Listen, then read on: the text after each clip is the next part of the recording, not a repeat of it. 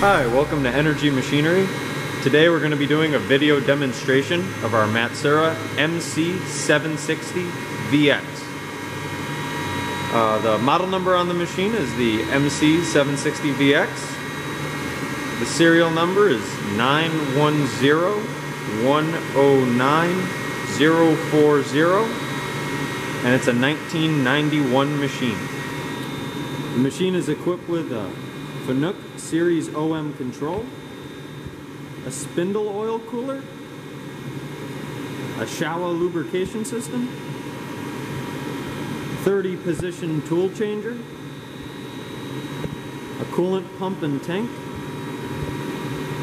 chip blower, Fanuc red cap motors, and a work light.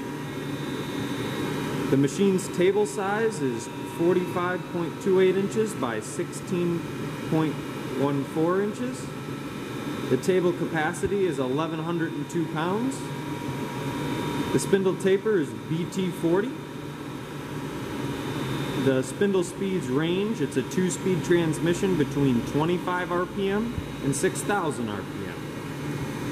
The machine weighs about 13,500 pounds. It has a 10 horsepower spindle motor and is currently wired 220 volt, three phase, 60 hertz.